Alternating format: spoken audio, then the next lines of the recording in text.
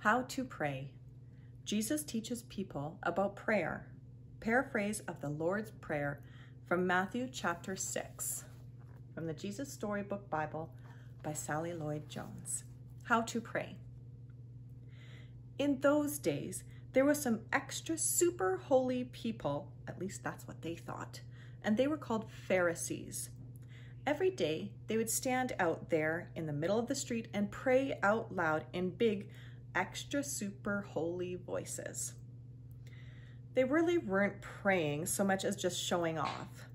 They used lots of special words that were so clever, no one understood what they meant. People walking by would stop and stare, which might sound rude, except that's exactly what the extra super holy people wanted. They wanted everyone to say, look at them, they're so holy. God must love those people best. Now, you and I both know they were wrong. God doesn't just love holy people, but the people walking by weren't so sure. Perhaps you did have to be really clever, or good, or important for God to love you. Perhaps you had to know lots of difficult, clever words to speak to God.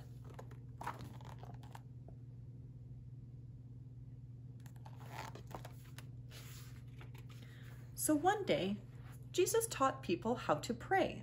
He said, when you pray, don't pray like those extra super holy people.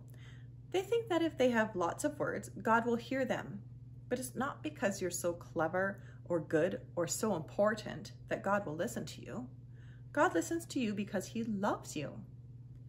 Did you know that God is always listening to you? Did you know that God can hear the quietest whisper deep inside your heart even before you've started to say it?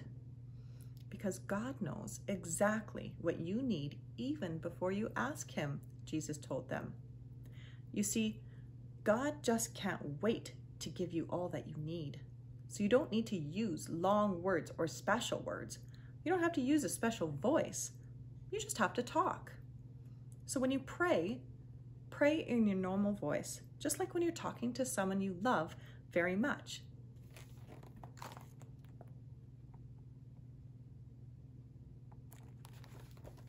Like this. Hello, Daddy. We want to know you and be close to you. Please show us how. Make everything in the world right again, and in our hearts too. Do what is best, just like you do in heaven, and please do it down here too. Please give us everything we need today. Forgive us for doing wrong, for hurting you. Forgive us just as we forgive other people when they hurt us. Rescue us. We need you. We don't want to keep running away and hiding from you. Keep us safe from our enemies. You're strong, God.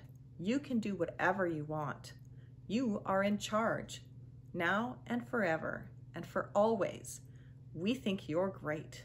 Amen. Yes, we do.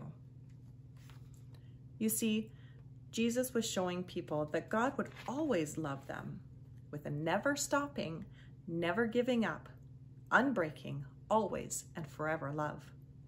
So they didn't need to hide anymore or be afraid or ashamed. They could stop running away from God and they could run to him instead as a little child runs into her daddy's arms.